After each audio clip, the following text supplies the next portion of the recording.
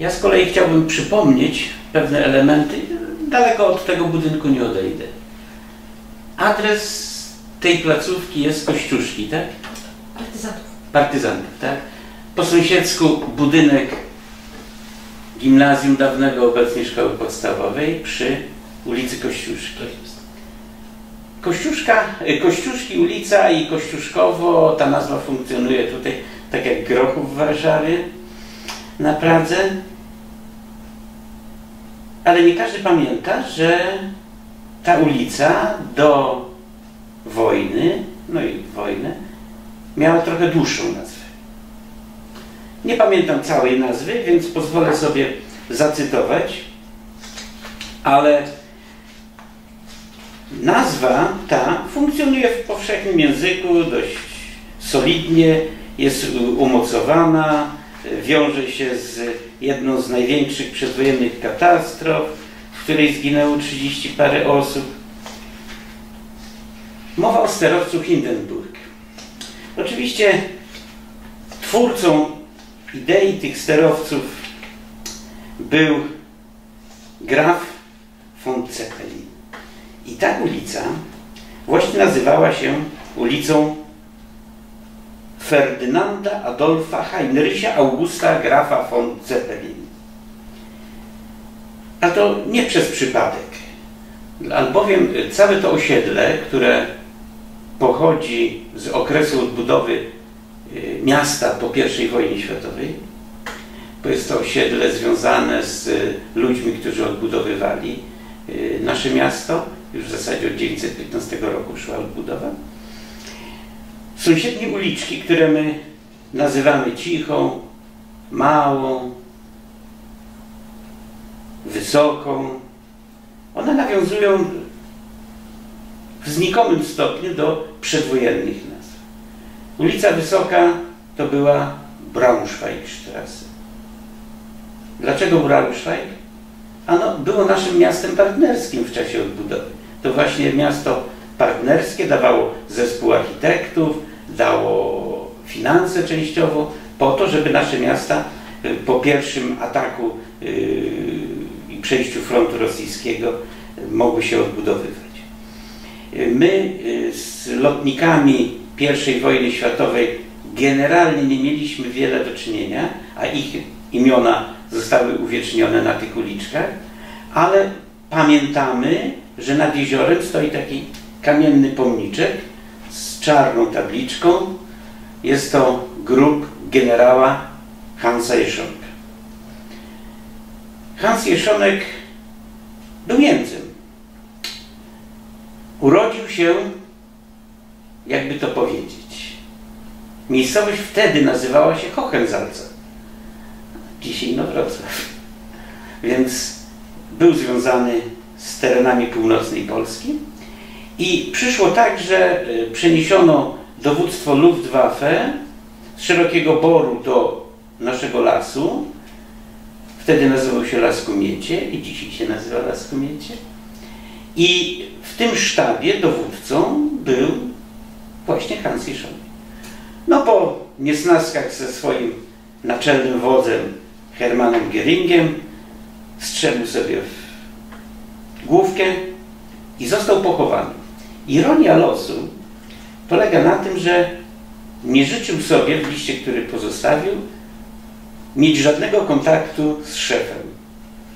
A istnieje takie zdjęcie, jak poczet sztandarowy, Hermann Göring, wojska od strony plaży, chowają Hansa na brzegu jeziora. No wtedy ono się akurat nazywało Schlinersee. Gdyby nie Gering, który nakazał zrzucić płytę nagrobną, to wojska rosyjskie na pewno by zniwelowały teren. Albowiem Luftwaffe po napaści wojsk niemieckich na Rosję siało spustoszenie od początku aż do końca. Więc człowiek, który wysyłał wojska w samolotach i bombował miasta rosyjskie, na pewno nie zostałby tym grobie. No i, i historia grobu kończy się w ten sposób, że całkiem niedawno, kilkanaście lat temu, a może to już kilkadziesiąt należy powiedzieć, grób został znaleziony siłami i rodziny, i lokalnymi, odnowiony, kamień został postawiony, wytyczona droga, wystawione drogowskazy i ludzie sobie tam odwiedzają.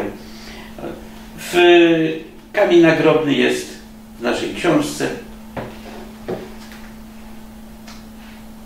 Został ładnie wytyczony na końcu obiektu, który nazywa się Leśny Zakątek. Kiedyś tam było strasznie trudno dojść, teraz nie ma najmniejszego problemu.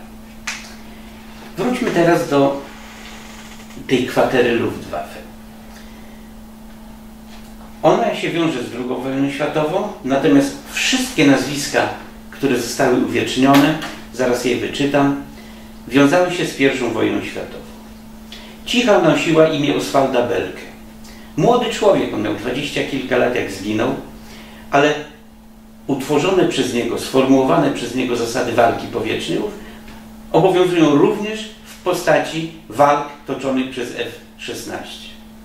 Mimo, że tam były prawie papierowe samoloty, ale technika lotnicza niewiele się zmieniła, z wyjątkiem maszyn.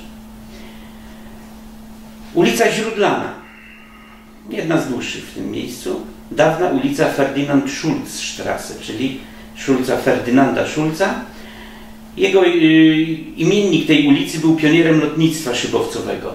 Zginął tragicznie w Wielbarku, ale tu nie chodzi o miejscowość Wielbark, tylko chodzi o wioskę Wielbark, która dzisiaj jest praktycznie częścią Malborka. Kolejna ulica, mała, nosiła imię konstruktora i oblatywacza szybowców Otto Lilenthala. Kto się choć trochę interesuje lotnictwem, a bezsilnikowym szybownictwem, ten wie, że te diamenty i medal Lilenthala to są największe trofea. Na ulicy y, Lilenthala 1 mój dziadek w 45 zamieszkał i w tym domu ja się urodziłam. No.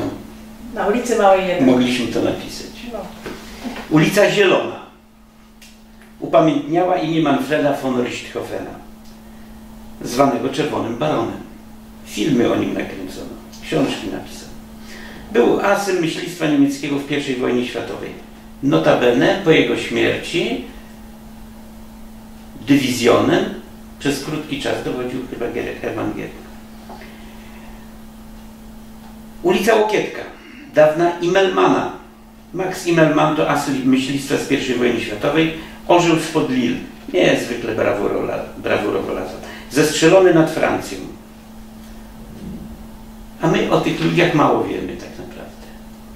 Tu nie chodzi o to, że byli Niemcami, że walczyli w I wojnie światowej, niekoniecznie po naszej stronie, ale ich imiona są zapisane w annałach historii lotnictwa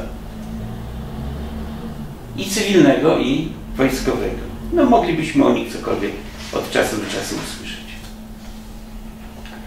E, ta historia o tych uliczkach jest na tablicy, umieszczona na tablicy opisującej e, kwaterę sztabu Luftwaffe. No z tym, że trochę niefortunnie teraz się zdarzyło, że stawialiśmy, starostwo stawiało tę tablicę, a ona teraz jest w ogrodzeniu za bramą do sanatorium. No ale można by coś takiego zrobić w trochę innym miejscu i nasi turyści, rowerzyści i piesi mogliby to spokojnie czytać. Taka jest moja historia o lotnictwie.